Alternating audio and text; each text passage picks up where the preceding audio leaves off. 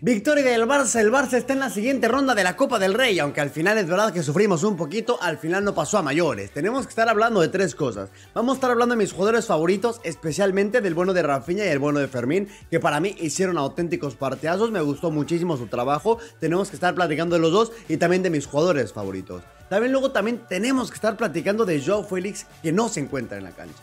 Joe Félix no está cómodo. Joe Félix no está en su mejor versión. Joe Félix no se encuentra cómodo. Y tenemos que platicar de Joe Félix y los jugadores que no me encantaron tanto en su partido. Pero les voy a ser honestos. Por lo general me gustó la mayoría. Pero Joe Félix no se acaba de encontrar. Y por último, esto sí es algo que me calentó muchísimo. A mí ver a Bartomeu en la grada, la verdad es que me pareció lamentable, me pareció algo horrible. El tipo que se encargó de destruir al Barcelona está en la grada y a mí la verdad me calentó muchísimo. Me calentó muchísimo ver a José María Bartomeu. Pero bueno, vamos a empezar con las cosas buenas, con las cosas positivas, porque siempre nos gusta quedarnos primero con lo positivo. Tenemos que hablar de estos dos tipos que a mí me gustó mucho su partido. Rafinha y el bueno de Fermín. Creo que los dos fueron los mejores en su partido, fueron los mejores en el partido. Especialmente primero quiero hablar del bueno de Fermín. Creo que hace un gran partido Fermín. A mí el partido de Fermín me gustó muchísimo, creo que participó muchísimo, creo que estuvo muy activo, me gustó muchísimo. De hecho, creo que da una asistencia o le da la asistencia a Joao Félix que acaban anulando en un gol. Que a mí pregunten, no cómo demonios anulas ese gol. Joao Félix está dentro por muchísimo. Joe Félix, vamos, el robo que nos metieron hoy fue bastante importante, pero bueno, ahorita también hablaremos un poco de los árbitros. Pero el partido de Fermín me gustó muchísimo. Es un tipo que toca el área muy bien, que sabe llegar al área muy bien, que tiene gol como ya demostró en el primer gol. Eso me gusta mucho de él. Y hay una jugada que me gusta mucho de Fermín, que le queda la pierna, que le queda el balón a la izquierda y con la izquierda hace un cambio de juego muy bueno que me gustó muchísimo del bueno de Fermín. Entonces hoy la nota positiva para mí se la tiene que llegar que llevar el bueno de Fermín. Otro jugador que también me gustó muchísimo porque estuvo muy participativo, te demostró el talento que tenía, la verdad es que Rafinha. Mucha gente lo critica, mucha gente lo mata, mucha gente le dice de todo, pero el partido de Rafinha hoy es muy bueno. Hoy el partido de Rafinha es un jugador muy pero que muy bueno que ayuda muchísimo al equipo. La verdad es que yo a Rafinha no le voy a dar ningún pero, no lo voy a criticar, no lo voy a juzgar como sí lo hacen muchos. Porque al final, no me acuerdo si era Pep Guardiola o Xavi Hernández el que, el que decía esto. Perdonaré Perdonaré que lo intenten, perdonaré que, que fallen, pero que no lo intenten nunca. Y ese es el bueno de Rafinha. Y luego hay muchos que me dicen, no, pero es que Rafinha es, antes teníamos extremos como Messi, como Ronaldinho, como Henry. ¿De verdad nos vamos a conformar tan poquito con Rafinha? No es conformarte con poquito. Si tuviéramos ahorita Henry, Eto, Ronaldinho, o bueno, no tanto Eto, Henry, Messi y este tipo de jugadores, seguramente Rafinha no sería titular. Pero no los tenemos. Entonces tenemos que juzgar la plantilla, tenemos que juzgar a Rafinha con el hoy. Lo que no podemos hacer es estarlo comparando. Lo que no podemos es comparar a Fermín con Xavi Hernández. Lo que no podemos estar comparando a Fermín con Andrés Iniesta. Porque en el momento que hagamos eso es que no veremos otros jugadores. Es que no veremos a ningún jugador igual y especialmente la situación económica que tiene el club. Entonces podemos analizar, no estar comparando, oye, que si Rafinha, ay, pero sí, juega de extremo derecho y antes tenemos a Leo Messi, entonces le voy a exigir lo mismo que le exigía a Leo Messi. Por supuesto que no. Quien esté esperando que Rafinha te dé lo mismo que te daba Leo Messi o que te daba Ronaldinho, que se quede esperando porque Rafinha no te lo va a dar. Podemos dejar de estar comparando a Rafinha con ese tipo de jugadores y podemos compararlo con lo que nos da. Podemos compararlo con lo que juega. Podemos compararlo con la plantilla actual. Porque actualmente vuelve a ser, de los tres de adelante, Rafinha vuelve a ser el, mi favorito de los tres. Y no es la primera vez que lo es, no es la primera vez que lo hace. Rafinha por lo general es un jugador que me gusta muchísimo. Rafinha por lo general es un jugador que te da muchísimas cosas. Y creo que no suficientes jugadores le dan, o no suficientes personas le dan a Rafinha lo que es de él. Que al final se deja la vida, es muy bueno con el balón.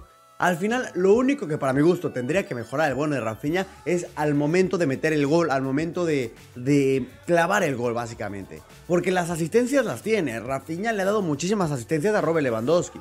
Es un jugador que te sabe dar muy buenas asistencias. No es tan goleador, no es tan definidor, pero asistencias te va a dar las que tú quieras el bueno de Rafinha. Entonces eso me gusta mucho por parte de Rafinha, que siempre está atento, que siempre está vivo. Entonces eso yo a Rafinha se lo voy a aplaudir toda la vida y no lo voy a criticar por eso. Entonces a mí, los culés que critican a Rafinha, yo la verdad es que no los voy a entender nunca. Otros jugadores, por mencionar los que me gustó su partido también, tendría que mencionar, bueno, Víctor Roque me gustó, Robert Lewandowski creo que entró muy bien al partido, Ferran no me acabó de encantar, la verdad, el partido de Ferran no me acabó de gustar. Pero bueno, especialmente Vitor Roque me gustó, creo que entró bien. Robert Lewandowski también creo que entró muy bien, el bueno de Lewan. Otro jugador en la media cancha, Frankie de Jong, otra vez siendo Frankie de Jong, un auténtico espectáculo lo que juega el holandés. Y por la banda izquierda me gustó Héctor Ford, Héctor Ford perdón, dando la asistencia del segundo gol al bueno de Rafinha. Entonces me gustó también el partido del bueno de Víctor Ford. De, perdón, de Víctor Ford, de, de Héctor Ford. Luego en la central creo que estuvimos bastante seguros, pese a los dos goles que recibimos, creo que estuvimos bastante seguros, los tres centrales creo que estuvieron bastante, bastante bien. Entonces por esos lados creo que me quedo bastante, bastante contento con esos jugadores. Ahora tenemos que platicar de los jugadores que no me acabaron de gustar. Tenemos que platicar de Joe Félix. Joe Félix, no sé qué le está pasando. Joe Félix, aunque le hayan anulado el gol y aunque no hayan, vamos a considerar que ese gol sí cuenta. Pero a mí necesito que me dé más Joe Félix. Tiene talento, tiene magia, tiene, tiene, necesito mucho más de Joe Félix. Quiero que pida el balón al pie, quiero que me enseñe más magia, quiero que meta un pase filtrado que no lo vemos nadie, quiero que tenga un tiro espectacular. Me está recordando mucho a Coutinho. A Coutinho que a lo mejor tú decías, bueno, tiene mucha magia, pero al final no pasaba gran cosa con él.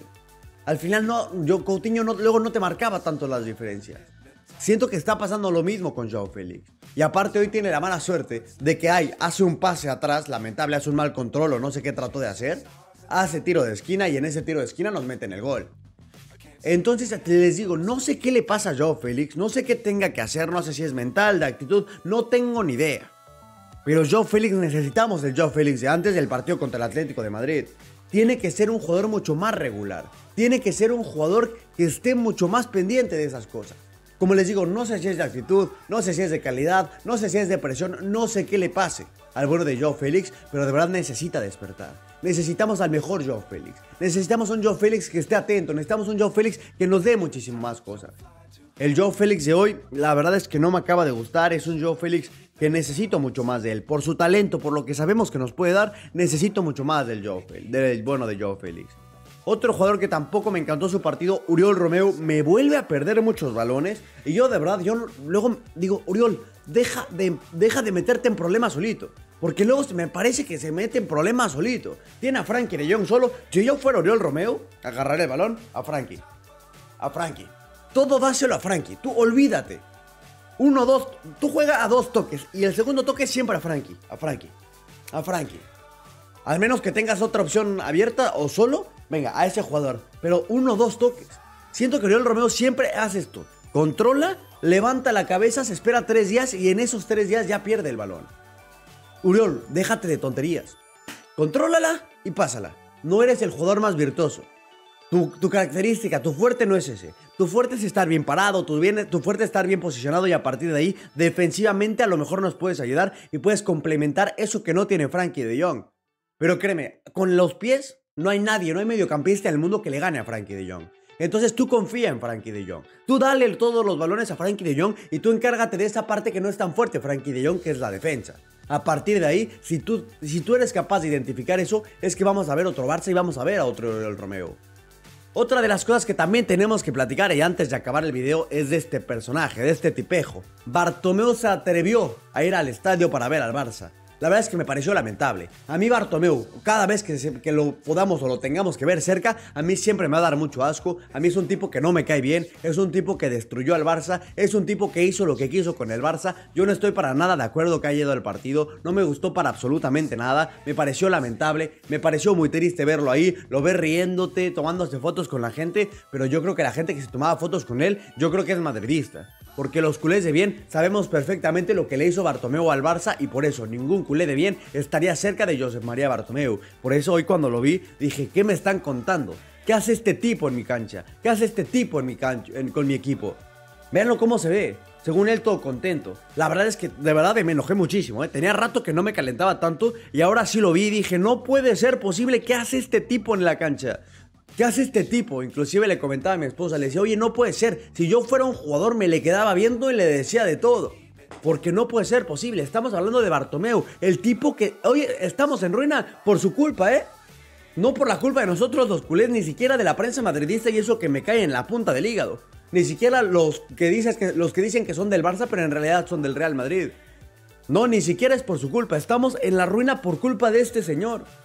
Y aún así, ay, él no tiene problema, él se muere de la risa. Ah, pues sí, ¿verdad? Qué fácil fue robarle al Barça, qué fácil fue llevarla a la ruina al Barça. Y luego él, ay, sí, me río, me río en el estadio. De verdad me pareció lamentable y ojalá que esto no se vuelva a repetir.